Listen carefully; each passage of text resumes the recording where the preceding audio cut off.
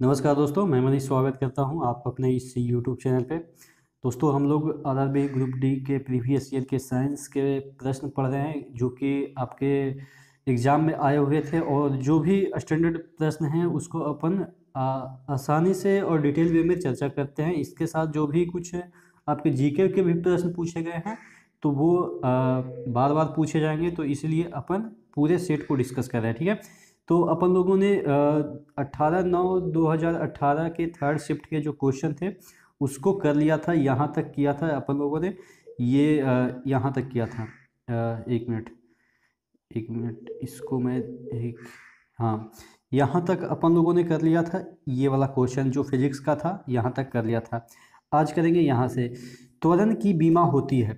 देखिए त्वरण की बीमा की बात की जाए तो त्वरण क्या होता है? उसके बारे में हम सबसे पहले देख लेते हैं कि त्वरण एसलरेशन को कहते हैं, त्वरण यानी कि इंग्लिश में ए लिखते हैं।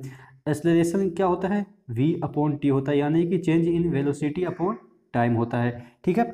अब देखिए वेलोसिटी की अगर हम बीमा की बात करें डायमेंशन की बात करें तो वेलोसिटी क्या होता है? क्योंकि हमको एकदम से नीचे तक जानी है। तो वेलोसिटी होता है डिस्टेंस अपॉन टाइम होता है। यानी कि एक बार और टाइम आ गया तो यानी कि डबल टी हो जाएगा। तो ये अब फंडामेंटल यूनिट में आप कह सकते हैं चेंज हो गया।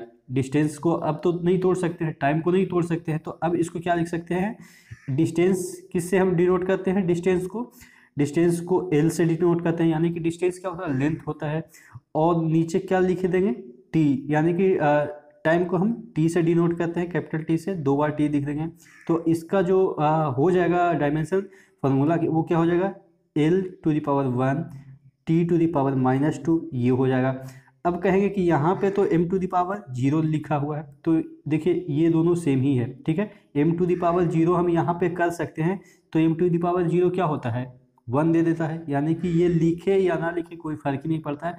तो हालाँकि लिख देना चाहिए क्योंकि ये मतलब कि होता है ना कि रिप्रेजेंटेशन में अच्छा लगता है, ठीक है? तो ये होता है बीमा, ठीक है? L to the power one T to the power minus two और M to the power zero कैसे आया? आपको समझ में आ गया होगा। आगे दे रखा है, दो सतहों के बीच की सतह अनियमितताओं के परिणाम स्वरूप क्या होता है? कह रहा क्वेश्चन कि अगर टू सरफेस इरेगुलर है दो सरफेस अगर इरेगुलर है तो उसके बीच क्या होता है? घर्षण होता है, जैसे अगर ये एक सरफेस ये है, ठीक है? और एक सरफेस स्मूथ भी रहेगा और दोनों एक दूसरे पे रिस्पेक्टिव मूवमेंट करेंगे तो इसके बीच घर्षण होगा तो वही करा अनियमित मितताओं, ठीक है? अनियमितताओं मतलब इरेगुलरिटी इंग्लिश में बात करें तो इरेगुलरिटी तो अगर ये सतह इरेगुलर है, यानी कि दोनों सतह, अगर सपोज़ ये भी इरेगुलर है तो इन दोनों के बीच क्या हो जाएगा? घर्षण हो जाएगा ठीक है? आगे देख लेते हैं। आगे यहाँ तक अपन लोगों ने देख लिया घर्षण तक। आगे है प्रोटीन की जानकारी प्रदान करने वाला डीएनए का भाग आ, को कहा जाता है। देखिए जो डीएनए का भाग होता है वो जो जीन होता है वो प्रोटीन से बना होता है ठीक है? तो यही आपसे पूछा जा रहा है कि जो जी प्रोटीन की जानकारी प्रदान करने वाला डीएनए का भाग क्या कहलाता है? जीन कहलाता है, ठीक है? रेगिस्तानी पौधे की बाह्य त्वचा पे मोम जैसा पदार्थ की परत क्या कहलाता है? देखिए, जो रेगिस्तान में जो पौधे होते हैं, वो देखेंगे कि बाहरी जो परत होती है वो एकदम से सॉफ्ट होती है और उससे प्रकाश संश्लेषण तो हो सकती है, लेकिन जो ट्रांसपीरेशन होता है वो बहुत कम होता है। ठीक है? क्यों कम होता है? क्योंकि उसके पास पानी की कमी होती है। तो अब वो पानी को बाहर जाने से क्या रोकना है उसको? तो उसके जो पत्ती है, उसके सतह के नीचे क्या होती है? क्यूटीन होती है। क्यूटीन एक वैक्सी टाइप का मोम जैसा एक पदार्थ है, जो कि पानी को बाहर जाने से रोकती है। ठीक है? तो आपको याद रखनी है कि क्यूटीन कहलाता है वो वैक्सी जैसा पदार्थ। अगला क्वेश्चन है, दंत चिकित्सक अवतल दर्पण का प्रयोग करते हैं क्योंकि इस पर निर्मित प्रतिबिंब होता है। देखिए इसमें क्या होता है कि अगर ये अवतल दर्पण है, इस तरह का अवतल दर्पण होता है, यहाँ पे, देखिए, यहाँ पे आपका फोकस है, यहाँ पे आपका सेंटर है, ठीक है? अगर आपकी दांत यहाँ पे पास में रखी जाती है तो इसका जो इमेज है, वो देखिए, यहाँ से जो लाइन जाएगी सेंटर से जो लाइन जाती है, वो वहीं से रिफ्लेक्ट हो जाती है, यानी कि इधर जाएगी, वो इधर लौट जाएगी। और जो यहाँ इससे एक लाइट गई, वो इधर रिफ्लेक्ट हो जाएगी, जितना पे इधर आई थी, उधर उतना ही पे निकल जाएगी। तो अब देखिए, ये वाला जो लाइन है, वो इधर, इसके पीछे अगर हम इसको मिलाते हैं, इसके पीछे हम इसको मिलाते हैं तो यहाँ पे इस लाइन को मीट करती है। तो ये जो हमारा है, वो प्रतिबिंब बनता है। तो देखिए, ये छोटा वाला ऑब्जेक्ट था और इसका प्रतिबिंब कितना हो गया? बहुत बड़ा हो गया।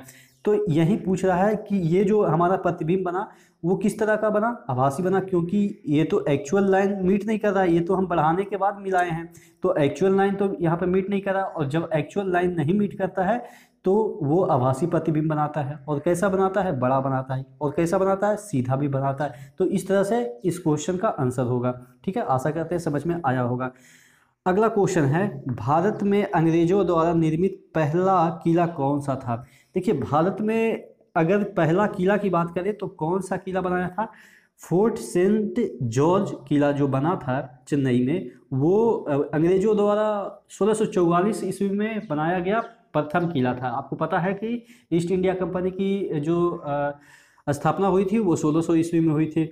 तो भारत में जो प्रथम किला बनाया था, वो सेंट फोर्ट सेंट जॉर्ज किला था। तो देखिए, इसको याद करने का तरीका आपको मैं बताता हूँ। जब अंग्रेज़ लोग यहाँ आए तो यहाँ के लोग बदबू वगैरह दे रहे थे। मतलब कि उन लोग के रिस्पेक्ट में कि यहाँ बदबूदार लोग रहते हैं, यानी कि गरीब लोग रहते हैं, इस तरह का उनका सेंस था। तो जब वो अपने फोर्ट में फोर्ट में मतलब किला किला में रहते थे तो उनको बदबू आती थी इधर उधर के मतलब छावनी वगैरह से या विलेज वगैरह से। तो वो क्या करते थे?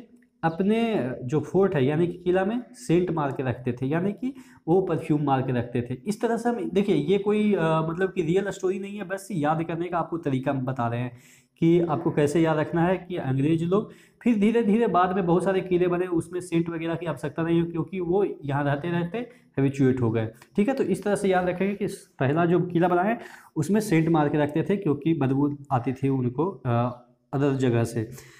अगला क्वेश्चन है, कौन से राज्य में भारत के पहले विलेज ऑफ़ बुक्स का उद्घाटन किया गया और उसे सार्वजनिक रूप से पढ़ने के लिए खोल दिया गया? तो ये करेंट का क्वेश्चन था महाराष्ट्र का। तो अब तो नहीं मुझे लग रहा है कि आएगा ये क्वेश्चन ब्रिटिश सरकार ने कुख्यात रोलेट एक्ट अधिनियम कब पारित किया था? इस अधिनियम में बिना मुकदमा के राजनीतिक नज़रबंदी की अनुमति दी गई थी। तो रोलेट एक्ट है, वो अधिनियम कब पारित किया गया था? 1919 में किया गया था, ठीक है?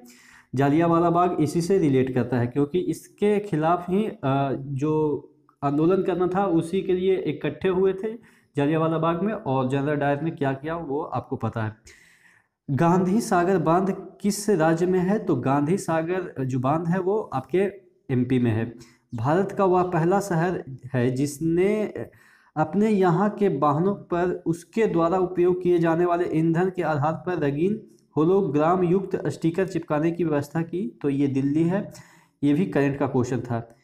चेरियल चित्रकला एक शैली है जो हाल ही में सुर्खियों में रही। यह किस राज्य से संबंधित है? देखिए ये तेलंगाना से चेरियल चित्रकला संबंधित है। याद करने का आपको एक ट्रिक बताते हैं कि चेरी क्या है? चेरी एक प्रकार का बीज होता है, ठीक है? तो बीज से, चेरी से हम तेल निकाल सकते हैं, ठीक है? बीज से तेल निकाला जाता है तो ये याद करने का तरीका है, ठीक है? तो आप इसको याद कर सकते हैं, चेरी जो है चित्रकला, चेरियल चित्रकला वो कहाँ से है? तेलंगाना से। नीति आयोग के पादेन अध्यक्ष कौन होते हैं? तो भारत के प्रधानमंत्री होते हैं। तो आशा करते हैं आज थोड़ा हल्के वाले थे तो फिर भी आपको याद हो गए होंगे जितने भी आपको मैंने आज साइंस के और जीके के कुछ क्वेश्चन बताए, ठीक है? तो अगले लेक्चर में नेक्स्ट सेट के साथ मिलते हैं। तब तक के लिए धन्यवाद।